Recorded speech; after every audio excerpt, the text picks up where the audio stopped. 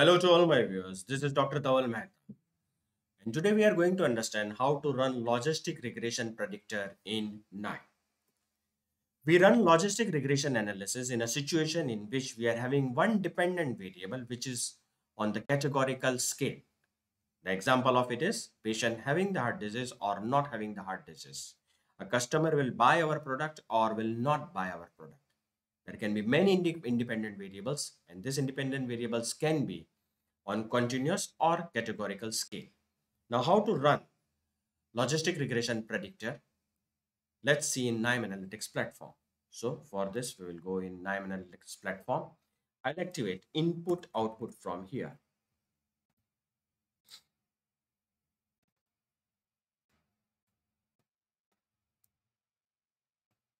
Now I'll double click on it so that I can browse the dataset which is in CSV format. I request all my viewers to kindly refer my previous video to understand the flow of this lecture series. Click on Heart 1, press Open, click OK. Again right click on it and execute. Again right click on it and see the file table. So you can see here the variables which are there in this dataset are age, gender, chest pain type, resting blood pressure, cholesterol level, fasting blood sugar, resting ECG, maximum hours of exercise, exercise angina, old peak, straight slope, a patient having the heart disease or not having the heart disease. So this is our target variable, the dependent variable, which is categorical, dichotomous. We want to do the classification based on the independent variable, which is age, resting blood pressure, cholesterol, and maximum hours of exercise. You can see that these variables are on different, you can say different scales. This is in two digit and this is in three digit. So it is necessary that we normalize it. How we can do it? For this, I'll go in normalizer, activate the normalizer, right click on it, configure. I'll remove old peak and fasting blood sugar. Three types of normalization are possible min max normalization in which now the entire dataset will be divided into minimum 0 and maximum 1. Z-score transformation in which each observation is subtracted from the mean of the over mean of that variable divided by standard deviation of that variable. And the third one is normalization by decimal scale. Normally, we go for min max normalization, click OK. Right click on it and execute. Again, right click on it and see the normalized table. So you can see age, cholesterol, resting blood pressure, and maximum hours of exercise. They all are on same scale. Now let us activate logistic regression learner from here.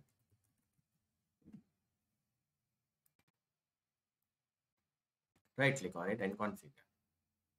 Our target column, our dependent variable is heart disease. We will make the reference category as no so that we can do the comparison. Our constant will capture for no. Remove all, uh, take all the variables this side and only include those variables which have been normalized. Age, resting blood pressure, cholesterol, maximum hours of exercise. OK.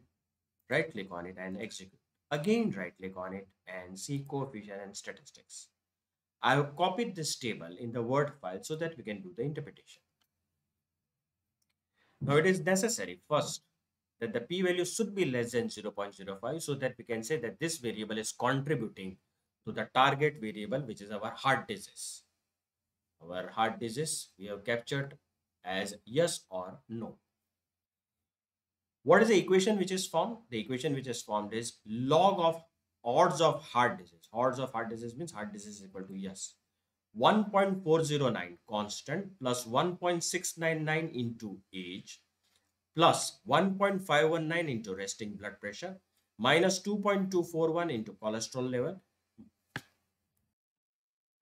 So the equation which is formed is, you can see 1.409 plus 1.699 into age plus 1.519 into resting blood pressure minus 2.241 into cholesterol minus 4.207 into maximum hours. So this is the equation. Our target variable is heart disease and our reference category is heart disease is equal to no. This means that our constant in equation, this captures for heart disease is equal to no. Now, let us do the interpretation. What is the coefficient of age? 1.69, p-value less than 0.05. So it, this means that age is contributing or rather age is a deciding factor for heart disease. This means that holding all other variables constant, a one unit increase in age is associated with an increase in log odds of having the heart disease by 1.699 units. In other words, the odds of having the heart disease are significantly affected by age, even when controlling for other variables in the model. If the beta coefficient in logistic regression model is 1.699, we will have to calculate the exponential beta, which is 5.460. The coefficient for age is 1.699, then the exponential beta is 5.460. The interpretation will be that one unit increase in the predictor variable. Predictor variable means uh, age. Holding all other variable constant, the odds of outcome variable increases by a factor of 5.460. In other words, in a very simple way, as age increases, the likelihood of having the heart disease increases. Let's form the equation. In this equation, we will substitute one unit of age, keeping all other terms constant. So now log of age, uh, log of odds, this is constant. 1.699 is a coefficient and age will consider only one, that is one unit. So now my log of odds will be 1.699. This means that one unit increase in age the log odds of the outcome variable increases by 1.699 units. In other words, as age increases, the likelihood of having the outcome variable heart disease is equal to yes increases. Now let us convert this beta code, this exponential beta into the percentage. If the beta coefficient in logistic regression model is 1.699, the corresponding odds ratio is 5.460. When we calculate the percentage change, the percentage change formula is percentage change is equal to exponential beta minus 1. So 5.460 minus 1, it is equal to 446 uh, percentage. This means that one unit increase in the predictor variable age is associated with 446 percentage increase in odds of outcome variable heart disease is equal to yes holding all other predictor variables constant. Now, let us talk about the coefficient of cholesterol, which is negative. Age was positive. So, what will be our interpretation for cholesterol?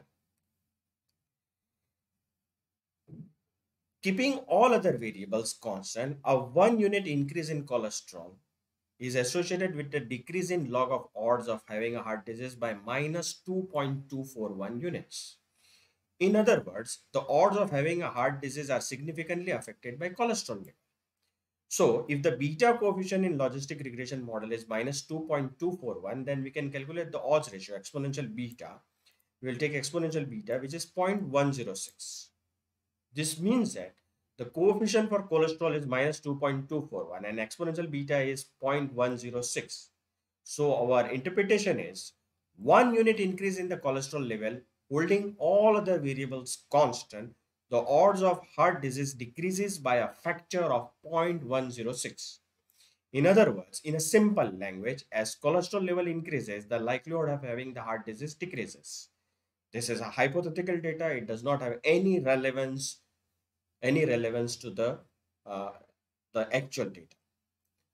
Now let us form the equation, the log of odds. This is the same equation which we are considering here. This is the same equation. We'll keep all other parameters constant and we will use one, uh, one unit change in cholesterol. So what is the equation which is formed now? So log of odds is equal to minus 2.241 we have taken only one unit of cholesterol. So it is beta 0 into minus 2.241 this means that one unit increase in cholesterol level the log odds of the outcome variable decreases by 2.241 units. In other words, as cholesterol level increases, the likelihood of having the outcome variable heart disease is equal to yes decreases. Now we want to convert this odds ratio into a percentage change. How we can do this? Let me remove this thing from here. So if the beta coefficient in logistic regression model is minus 2.241, our coefficient, its corresponding odds ratio is 0.106. So the percentage change is equal to exponential beta minus 1 into 100%. So let's substitute exponential beta 0.106 minus 1. It is negative 89%. Now what will be our interpretation? One unit increase in the predictor variable that is that is cholesterol level. This means that one unit increase in the predictor variable that is cholesterol level is associated with 89% decrease in odds of outcome variable. So in a layman language, as cholesterol level increases, the probability of occurrence of heart disease decreases. This is what is data set. Uh, this is just a hypothetical data. It can be true or it cannot be. It's just a hypothetical data, holding all other predictor variables constant. Now, we will use the predictor here in KNIME Analytics platform. So we'll again go back and activate logistic regression predictor.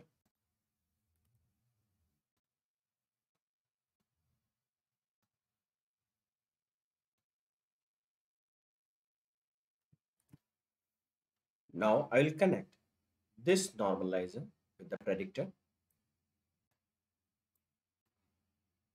Right click on it, configure, click on both this prediction column and we want the probabilities also. Click ok. Again right click on it and execute. Again right click on it and see the predicted data. So now we are having the original data heart disease and the prediction done with the probabilities you can see the probabilities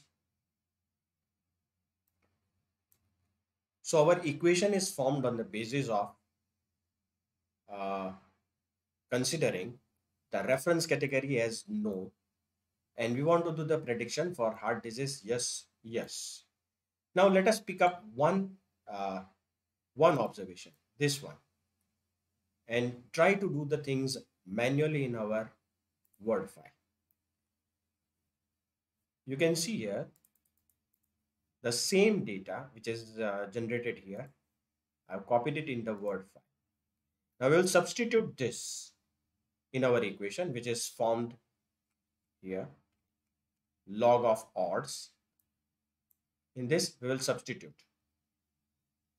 So log of uh, heart disease is equal to the this is constant 1.699 into age minus 1.519 into resting blood pressure minus 2.241 into cholesterol minus 4.207 into maximum hours of exercise so log P of 1 minus P constant is same 1.699 into age.